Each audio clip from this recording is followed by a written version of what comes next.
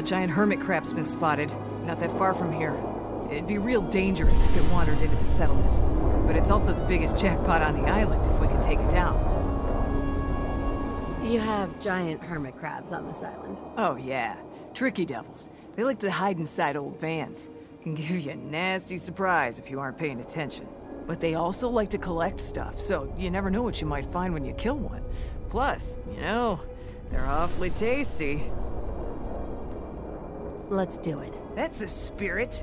I'll grab the others and we'll meet you there. Listen up, folks. It's time. Let's go get that crab!